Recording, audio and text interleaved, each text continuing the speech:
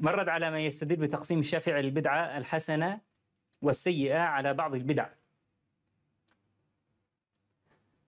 عليه أن يتبع الشافعي بما يقول كما يقول. لأن الشافعي رحمة الله عليه ما كان يقول اخترعوا عبادات وهذه العبادات بدع حسنة. لكن كان يتكلم عن هذا إذا ثبت عنه هذا الكلام لأن في النقل عن الشافعي آه هذا النقل عن الشافعي لا يصح. لكن لو صح فإنه كلام حسن. لأنه يتكلم عن أمور مثل الآن هذه وسائل الآن أنا كيف أتواصل معكم؟ من خلال وسائل مبتدعة. لكن هل أنا اخترعت عبادة وقلت هي حسنة؟ لا. الشافعي بنفسه قال من استحسن فقد شرع. وهو لا يجيز أن تشرع من دون الله. التشريع من دون الله هذا أمر عظيم. فكان يقول من استحسن فقد شرع. فكيف هو يستحسن؟ وكيف يقول اخترعوا عبادات الشافعي بنفسه جاءه شخص فقال في حديث كذا هذا أنت تروي حديث كذا هل تأخذ به؟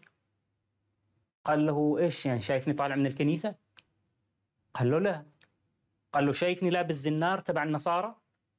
قال له لا قال ترى على صدري صليبا؟ قال له لا فقال كيف أروي الحديث ولا آخذ به؟ كيف أروي الحديث ولا آخذ به؟ الشافعي متبع للسنة رحمة الله عليه لكن في أشياء وسائل. في اللبس في طرق التدريس في كتابة العلم. يعني الشافعي كتب كتاب اسمه الأم قسمه بتقسيم معين.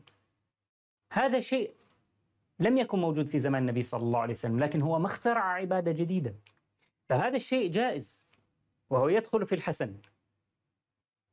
أما البدعة القبيحة السيئة هي تشريع عبادات من دون الله. وهذا يقتضيه كلام يقتضيه كلام الشافعي لأنه يخالف الك... قال كل ما خالف الكتاب أو السنة أو الإجماع فهو بدعة ضلالة. طيب اللي يأتي ويخترع عبادة جديدة ألم يخالف الكتاب؟ خالف قول الله سبحانه وتعالى أم لهم شركاء شرعوا لهم من الدين. وخالف قول النبي صلى الله عليه وسلم كل محدثة بدعة وكل بدعة ضلال. وخالف قول النبي صلى الله عليه وسلم من أحدث في أمرنا هذا ما ليس منه فهو رد.